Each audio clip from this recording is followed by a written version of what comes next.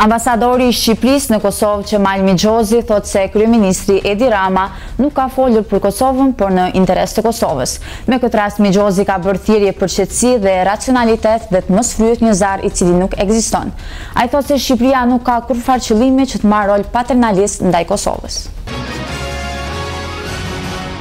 Njëzet e tre ushtarë të Luksemburgut që kanë shërbyer në kuadër të trupave të KFOR-it në Kosovë, kanë përfunduar misionin e tyre dhe të shtunën kanë zbarkuar në aeroportin Findel Nga dhe janë pritur nga familjarët e tyre.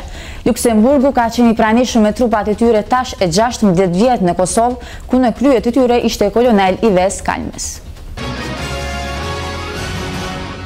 Zyrtarë të lartë të Lëvizjes Vetëvendosje, Visar Ymeri, kryetar i këtij subjekti, Shpend Ahmeti, kryetar i Prishtinës dhe Albin Kurti, Deputet, janë takuar me bashkëatdhetarë që jetojnë në Bruksel. Ata kanë folur dhe për situatën në vend duke listuar edhe probleme të mërgatës nga dhe kryetari Visar Ymeri tha se qeveria po e shpërfill nevojën e qytetarëve dhe të mërgatës. Ky delegacion ka mbërritur sot në Bruksel për të marrë pjesë në konferencën parlamentare të Aleancës Progresive të Socialdemokratëve të Parlamentit Evropian.